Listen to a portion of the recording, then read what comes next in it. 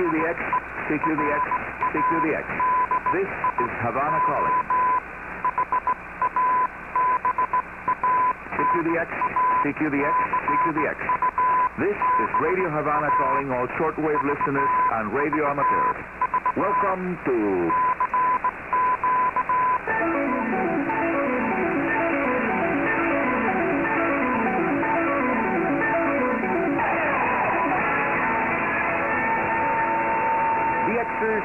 Unlimited, Radio Havana's weekly feature dedicated to the fascinating world of radio communications. Hi, mis amigos radio aficionados all around the world now enjoying slightly better shortwave propagation conditions as we approach the autumn equinox, where the geomagnetic storm has spoiled things for the past two days. I am Arnaldo Arnicolo, your host here at the weekend edition of DXers Unlimited, your favorite radio hobby program, coming to you from sunny, beautiful La Habana, Cuba. And here is our for the change, broadcast station is going back, yes, going back to use shortwave transmissions to provide better service to its listeners. It's Radio Nepal, now back on shortwave. Victor Goonetilleke just wrote on the Union of Asian DXers Facebook page on the 13th of September the following information. Thank you, Victor, for it. Radio Nepal is back on shortwave after six years off the air on the 60 meters tropical band by adding 5,005 kilohertz to augment its national transmission with broadcasting on medium wave and FM bands. According to the station official, Radio shortwave broadcast from 020025 p.m. Nepali time using a 10 kilowatt transmitter at Khumaltar, Lalitpur in Kathmandu, Nepal. The same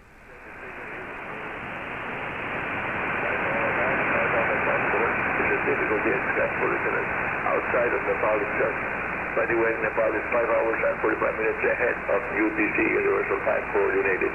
Even though the station is running the old 10 kilowatt power transmitter, at present it can be no more than 1 kilowatt on the air. But the greater news is that Nepal is now available on shortwave for the access once again.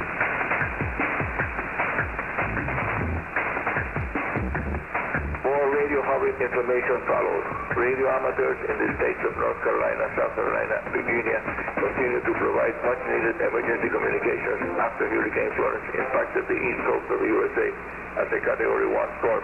So this one was a large diameter event that has affected a large area with very heavy rains and storm surges. The American Radio Relay League sent several portable multi-band stations to the ahead of the arrival of the hurricane, while local clubs implemented the emergency plans to provide much-needed alternate communication after damages to the cell phones and wire systems required the use of amateur radio stations to manage emergency communications.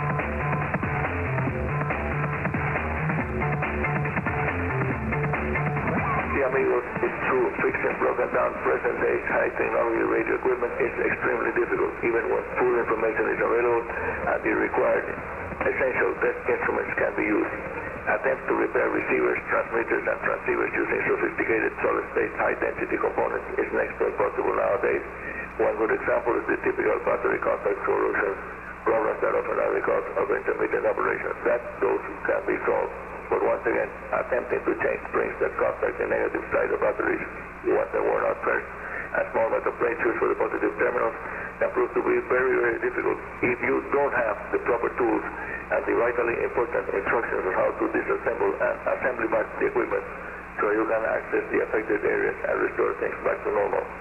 So one vitally important reminder is to never leave batteries inside radios and accessories that are in storage.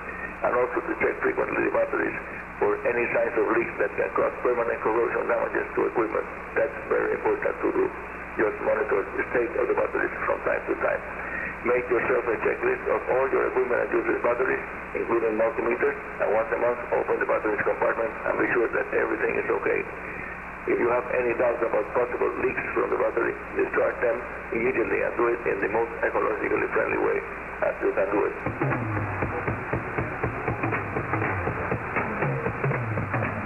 On yes, the air, amigos many Radio Havana, Cuba listeners that are reporting our 15,140 kilohertz frequency that is now starting at 11 a.m. Cuban time, that is 15 hours UTC, with the full two hours of the Cuba Online Spanish broadcasting show that ends at 18 hours UTC. Then 15,140 kilohertz stays on the air with the same Central North America 340 degrees azimuth beam with several speeds following. The English language slot on 15,140 is from 3 to 4 p.m. local Havana time. That is from 19 to 20 hours UTC. Send your report of the 15,140 kilohertz 19 milliwatt frequency to info info.rhc at inet.cu and please do include your postal mailing address so we can send you the nice Radio Havana Cuba hard copy QSL card. Now, more radio hobby related information. The best time of the year for AM medium wave band DXing is just around the corner.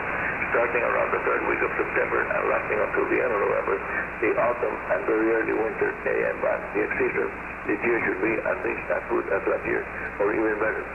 As the number of sunspots has gone down below 10. Listeners who ask why the autumn DX season for the AM broadcast band is typically better than the spring season, and here is my answer. The answer is that during the months of March and early April, atmospheric noise levels are higher than during September, October, and November. And by the way, I'm using a recently repaired, very old Grundig Yacht Boy 220 long wave, medium wave, short wave, and FM radio for late evening AM DXing with very good results. Using the built in ferrite rod antenna on the AM broadcast band during the daytime, I'm able to pick up ground wave signals from stations located up to 250 miles away and even more, thanks to the low local noise level that is prevailing in the neighborhood of Havana where I live. A recent trip for a short vacation at the end of August to beautiful Varadero Beach and a seaside location brought daytime signals from more than 350 miles away. So I saw the so-called C effect on the AM broadcast band stations from Cuba uh, located to the east of our main island uh, and operating on the 1200 to 1620 frequency range were easily tuned during the daytime.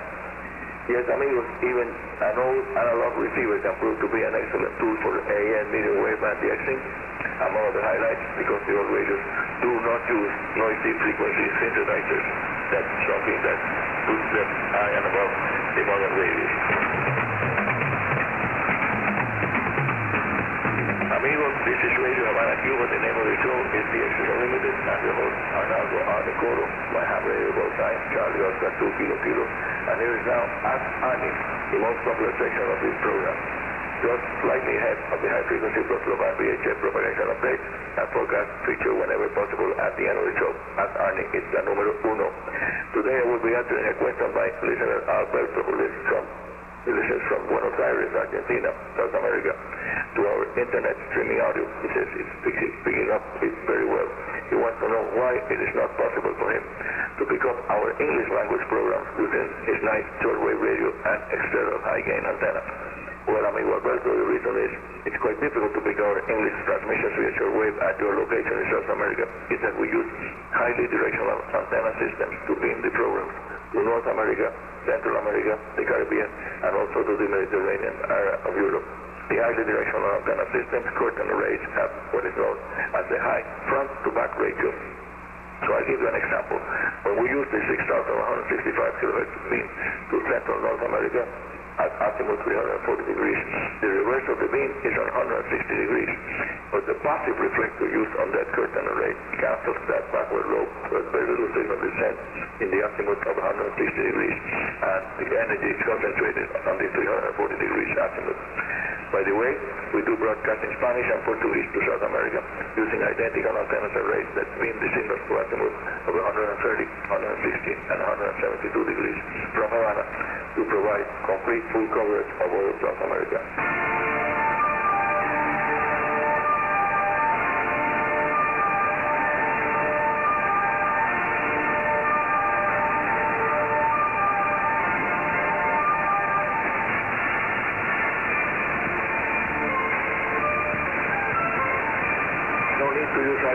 Enjoy amateur radio even with simple equipment that do not need the assistance of sophisticated computer software digital communication programs like JT65 and the most recent widely used and very effective and very popular FT8. The unique joy of achieving a successful two-way amateur contact with a DX station when running very low power uh, and simple radios is second to none, amigos, believe me. And by the way, here is a partial list of the most popular CW operating frequencies for QRP or very low power amateur radio stations. They are 7030 and 7040 on the 40 meter meters amateur band, then dot 106 on the 30 meters band, 14,060 on 20 meters, extremely popular one. 20, that's 14,060 on 20 meters for QRP. And on 50 meters, 21,060, that's on the 21 megahertz band, and 28,060 on the 10 meters amateur band. Calling CQ using CW Morse code radio telegraphy on those frequencies will, in many instances, bring back stations that regularly monitor them for QRP signals. And now the end of the our Nicola frequency block global, VHF propagation update and forecast. Solar propagation conditions are not good. Signals are low because of very low solar activity and expect the possibility of some DX on the lower frequency bands during the local evening hours. See you all at the middle of the week edition of DXers Unlimited. Going to be next Tuesday and Wednesday UTC days, just after the half-hour newscast. Send signal reports and comments to info.rhc at inet.cu or via airmail to Arnie Coro, Radio Havana, Cuba, Havana, Cuba. And that's all for today. This is Arnie Coro, Radio Amateur CO2KK, your host here at Radio Havana's DXers Unlimited, saying 73 and very good DX. Coro with DXers Unlimited heard twice a week. The weekend edition, which you heard just now, and the midweek edition on Tuesdays and Wednesdays, UTC days, DXers Unlimited.